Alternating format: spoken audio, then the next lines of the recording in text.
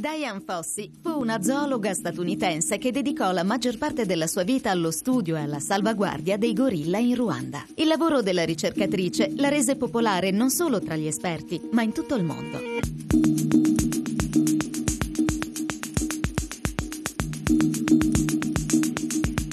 Rapporto di intimità e cordialità che Diane creò con animali considerati fino ad allora pericolosi ed aggressivi stupì e commosse l'opinione pubblica. Diane Fossey fu assassinata nella sua capanna il 26 dicembre del 1985 con lo stesso arnese usato dai bracconieri per abbattere i gorilla. Anche in questo giovedì la nostra attenzione sarà rivolta al regno animale. Nel dettaglio oggi accogliamo il grido disperato del, dei gorilla di montagna africani.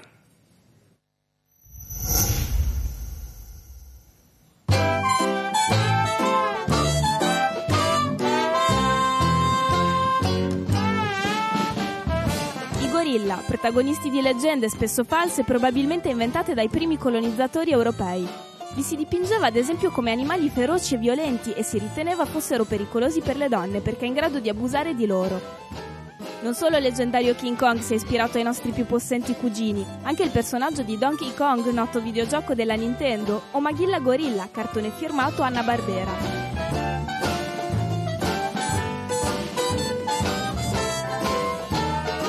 E persino Fabrizio D'André canta di gorilla con un testo tradotto da una celebre canzone di Georges Brassens, Le goriglie. Sulla piazza d'una città la gente guardava con ammirazione un gorilla portato là dagli zingari d'un baraccone.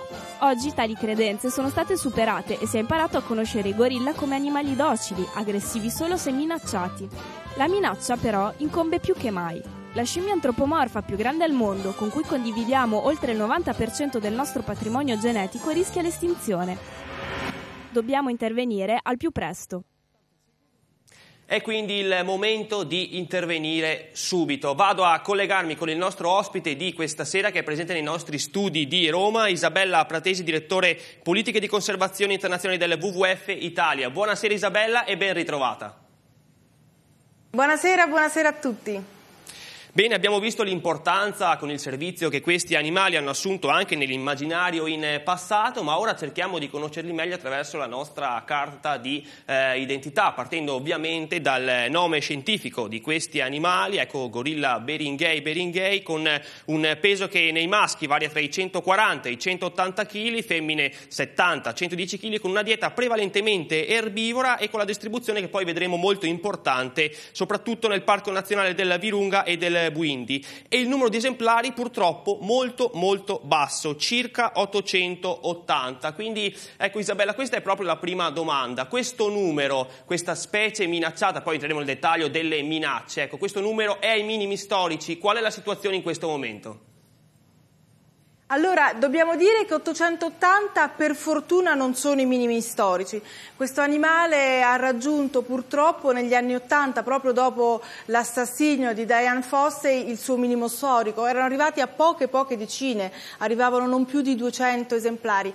In questi ultimi anni, per fortuna, col grandissimo aiuto della comunità internazionale, con l'aiuto dei parchi che hanno fatto il possibile, il gorilla di montagna è leggermente aumentato. Sono arrivati adesso 880 esemplari, ma 880 esemplari per garantire la sopravvivenza di questo animale sono veramente niente. Sono un pugno di animali che purtroppo sempre più minacciati da nuove sfide, da nuovi consumi delle foreste e come vedremo poi anche da nuovi appetiti internazionali. Ecco, quindi tu ce l'hai già accennato, ci sono ancora minacce pressanti per la popolazione dei gorilla di montagna. Possiamo elencare alcune di queste minacce o anche tutte? Allora, diciamo che la minaccia maggiore è la distruzione dell'habitat, il fatto che comunque il taglio delle foreste stia andando avanti eh, minaccia ogni giorno questi animali che vivono in queste foreste tropicali eccezionali e hanno bisogno di avere un territorio ancora selvatico e ancora naturale. Quindi il fatto che l'uomo invece si stia mangiando a poco a poco il loro habitat è chiaro la più grande pressione che subiscono. Però sono anche animali che subiscono purtroppo il bracco bracconaggio, eh, soprattutto quelli che vivono fuori dai confini del parco, rischiano di essere uccisi e commercializzati come trofei e uccisi per la carne. Purtroppo ancora un commercio drammatico che riguarda in parte i gorilla di montagna, ma moltissimo in realtà tutti i gorilla del bacino del Congo. Il fatto che la carne di gorilla possa essere trovata nei mercati africani è, è un vero dramma. Il WWF ogni anno effettua numerosissimi eh, sequestri, eh, numerosissimi controlli contro il bracconaggio però non è mai sufficiente. Proprio per questo in realtà abbiamo bisogno del sostegno della comunità internazionale, perché il mondo intero deve essere dietro alla difesa dei gorilla, se no non ce la faremo a salvarli. Ecco, tra l'altro abbiamo raccolto alcuni dati sul commercio illegale nel eh, mercato africano, tu hai citato la carne di eh, gorilla, ma ci sono anche altri eh, problemi che possiamo vedere appunto con eh, la nostra grafica che mostrano come anche i piccoli di gorilla siano oggetto di questo commercio commercio con un valore che va dai 15.000 ai 40.000 dollari, ecco il chilo di carne da pochi centesimi a pochi dollari, ecco la grafica, e una mano di un gorilla come trofeo addirittura meno di 6 eh, dollari. Ecco Isabella, tu hai citato la deforestazione, un problema sicuramente eh, importantissimo, addirittura eh, leggevo poi nel comunicato stampa che voi avete diffuso 700.000 ettari di foresta all'anno vengono tolti al bacino del Congo, ecco è un'area più o meno grande come il Friuli Venezia Giulia, grande come quindi una regione eh, italiana. Abbiamo preparato una scheda proprio sull'habitat di questi animali che possiamo vedere, quindi in, nel dettaglio sono due i parchi nazionali più eh, importanti che eh, racchiudono ecco, questi stati, la Repubblica Democratica del Congo, l'Uganda e il eh, Ruanda. Ecco Isabella ti chiedo, in queste straordinarie bellezze naturali ci sono delle leggi ferree che vengono aggirate oppure manca una regolamentazione per la tutela della biodiversità? Allora è un po' un misto di cose, è vero, esistono delle leggi e quelle poche leggi che esistono spesso non vengono rispettate. Eh, purtroppo l'illegalità, la corruzione è molto diffusa e, e, bisogna proprio prenderne atto.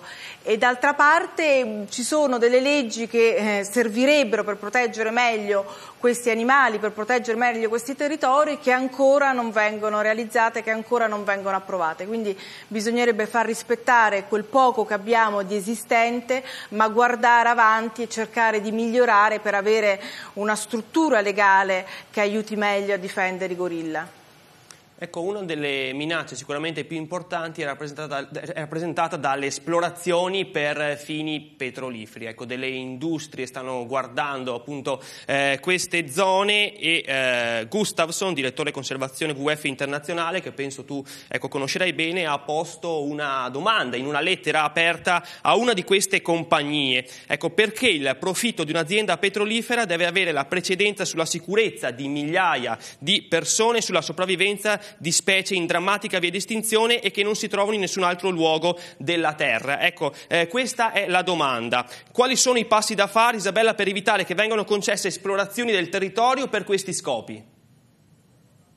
Allora, dobbiamo innanzitutto dire, innanzitutto dire che purtroppo eh, le concessioni all'interno del parco del Virunga, che questo luogo meraviglioso fatto di foresta primaria, di vulcani, sono state già in parte date, sono state già vendute. Quindi ci sono già delle compagnie petrolifere che hanno in mano la possibilità di realizzare per adesso eh, perlustrazioni per capire se c'è effettivamente il petrolio, ma in futuro di creare proprio una vera estrazione estrazione del petrolio, quindi distruggendo la foresta perché quando queste industrie entrano in questi luoghi eh, che sono unici e che sono estremamente selvaggi, creano dei disastri infiniti, distruggono la foresta, creano inquinamento, portano malattie, perché questi gorilla sono anche soggetti purtroppo a malattie portate da noi e portano ulteriore criminalità, perché attraverso le strade arrivano altri bracconieri, altra, arriva altra criminalità. Quindi cosa fare? La nostra campagna internazionale è tutta dedicata a cercare di convincere queste compagnie compagnie a fare un passo indietro,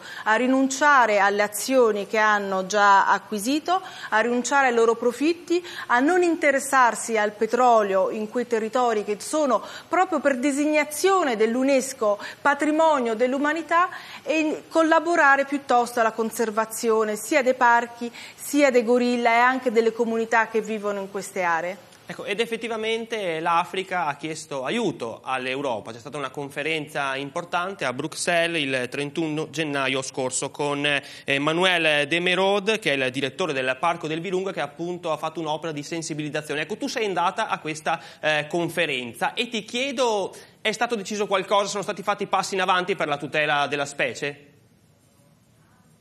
Non è stato deciso niente, però di per sé la conferenza è stata molto importante, sia perché avveniva a Bruxelles, che è la capitale dell'Unione Europea, e l'Unione Europea è stato un grandissimo sostenitore della conservazione dei gorilla e della conservazione del Virunga. Proprio anche per questo nel 2012 l'Unione Europea ha vinto il Nobel della pace. Quindi il fatto che questa conferenza avvenisse a Bruxelles, il fatto che ci fosse il direttore del Parco del Virunga, che è una persona eccezionale, un, noi lo chiamiamo chiamiamo il principe dei gorilla perché effettivamente è di una famiglia principesca belga, ha lasciato tutto per dedicarsi a 43 anni alla conservazione dei gorilla e alla difesa del parco. Il fatto che ci fosse anche il, ministro eh, belga degli esteri che ha garantito che farà tutto il possibile affinché anche gli altri ministri europei si mettano in difesa del parco, quindi anche gli altri governi chiedano alle proprie compagnie di non entrare nel parco del Virunga per sfruttare il petrolio e di lasciare in pace questi animali che come abbiamo detto ne sono rimasti pochissimi, sono in via di estinzione, dobbiamo assolutamente aiutarli perché sono animali unici. Ecco, sono animali unici, ti chiedo, tu hai conosciuto questi animali, sei stata eh, in quei posti? Io sono stata nel cuore del bacino del Congo, sono stata nella Repubblica Centroafricana e ho avuto il grandissimo onore di entrare in contatto con una piccola comunità di gorilla, era un gorilla di pianura, sono leggermente diversi ma ugualmente meravigliosi e devo dire che osservare negli occhi un gorilla, guardare la sua somiglianza a noi, è un, un vero richiamo ancestrale perché hanno con noi quasi tutto, condividono quasi tutto, anche sentimenti, modalità di relazione, sono degli animali unici, hanno il 90, 98% di DNA in comune e quindi questo anche scientificamente ci ricorda la parentela. E, e, insomma io credo che chiunque ha visto da vicino questi animali, li ha osservati e li ha capiti non può non sostenerne la conservazione. E per sostenere la conservazione, ecco, raccontaci insomma cosa dobbiamo fare. Dobbiamo andare nel vostro sito, come possiamo aiutare questi animali? Il WWF da anni combatte per difendere i gorilla, infatti se abbiamo ancora i gorilla nel Centrafrica è anche credo merito della, della, nostra associazione, ma abbiamo bisogno di tutti, abbiamo bisogno di soci, abbiamo bisogno di sostenitori, abbiamo bisogno di persone che si colleghino al nostro sito e leggano tutto quello che facciamo e leggano anche in che modo ci possono aiutare. Soprattutto io immagino che diventare in qualche modo dei sostenitori dei gorilla vuol dire capirne il valore e diffonderne il valore e anche da fare una donazione. Nel nostro sito è possibile donare per eh, sostenere i gorilla, è possibile anche adottare i gorilla, che è un gesto bellissimo e ci rende in qualche modo un pochino più vicini anche dall'Italia al cuore del Congo e soprattutto ecco, stare vicino al WWF perché noi siamo in pochi e da soli non ce la facciamo. Quindi rinnovo ai nostri telespettatori questo appello, aiutiamo il WWF in questa importante campagna a favore di questi animali così simili e vicini al genere eh, umano. Thank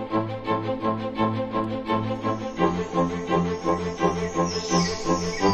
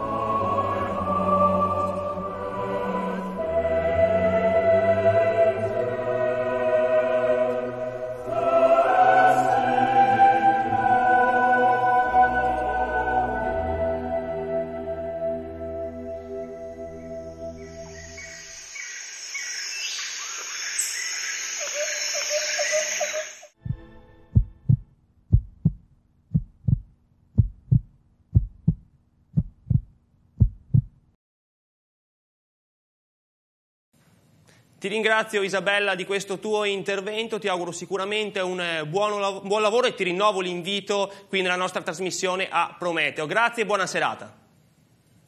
Grazie, grazie a tutti voi.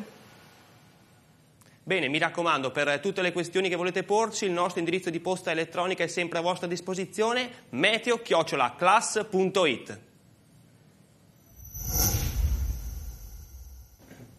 Torniamo subito a parlare di meteorologia perché il nostro meteorologo ci ha già anticipato quello che succederà nella giornata di lunedì con il ritorno possibile della neve al nord, però adesso vado subito a ricollegarmi con lui per sapere tutti i dettagli del fine settimana. A te Michele. Ebbene Matteo, sarà un fine settimana ancora invernale su gran parte del nostro paese, anzi sarà proprio tra sabato e domenica che il freddo raggiungerà il picco, prima come abbiamo visto eh, del peggioramento di lunedì che spazierà via il freddo, almeno per quanto riguarda il sud delle isole maggiori e porterà la neve copiosa fino in pianura al nord. Andiamo Andiamo nel dettaglio partendo dalla giornata di sabato che sarà ancora tutto sommato più che discreta al nord, sulla eh, Toscana, anche su gran parte eh, del Lazio e dell'Umbria, specialmente i settori più occidentali, eh, ma con su queste zone temperature davvero fredde al mattino, anche fino a meno 4 o meno 5 gradi sulle vallate interne, massime inferiori ai 5-10 gradi su tutte queste zone. Continuerà invece l'instabilità sul medio-basso versante adriatico, eh, sabato con nevicate anche fin quasi lungo le coste, tra le Marche, l'Abruzzo e il Molise, parliamo di 100-200 metri, quindi qualche fiocco sicuramente raggiungerà raggiungerà anche le spiagge nei rovesci più intensi, ancora eh, maltempo al sud, ma in generale con eh, rovesci, ma il maltempo vero eh, sabato lo troveremo soprattutto in Sardegna e sull'ovest eh, della Sicilia, sul nord dell'isola, in particolare sul Sassarese, sulla provincia eh, di Olbia Tempio, in serata i fiocchi potrebbero anche riuscire a cadere fin verso i 200-300 metri, anche per sabato forti venti ovunque e temperature in ulteriore calo anche al centro-sud.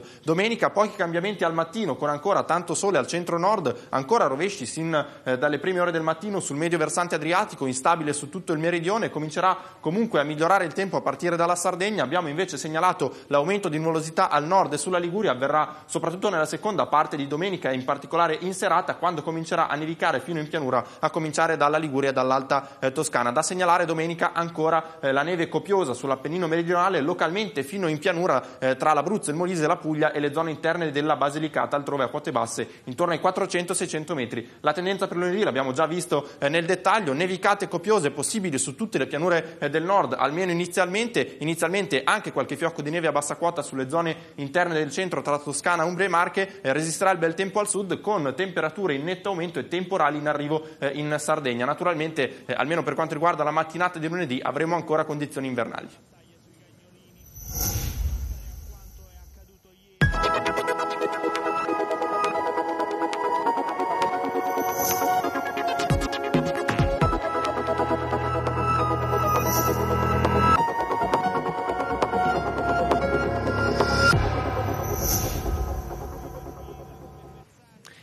Esclusiva delle immagini della eh, NASA, le prime immagini della cometa Ison registrate dalla sonda spaziale Deep Impact. La cometa sarà facilmente visibile ad occhio nudo il prossimo dicembre, quando raggiungerà la minima distanza dalla Terra, un appuntamento sicuramente da non perdere e che Prometeo non eh, perderà. Vi ricordo inoltre che domani la nostra trasmissione sarà incentrata proprio sullo spazio, quindi un appuntamento da non perdere, sicuramente Prometeo non se lo perderà. Inoltre la puntata di domani, quella del venerdì, sarà incentrata proprio sullo spazio, quindi non mancate. Infine vi ricordo come sempre il nostro portale web www www.classmeteo.com per tutte le previsioni per la vostra città fino a 10 giorni. Scriveteci al nostro indirizzo mail che vedete molto semplice meteo-class.it. Per rivedere questa puntata o quelle dei giorni scorsi, mi raccomando, visitate il video center sempre sul nostro sito. Anche per oggi abbiamo concluso, l'appuntamento come sempre è per domani alle 17.10. Intanto vi auguro una buona serata con la programmazione di Class TV MSNBC. Ci vediamo domani.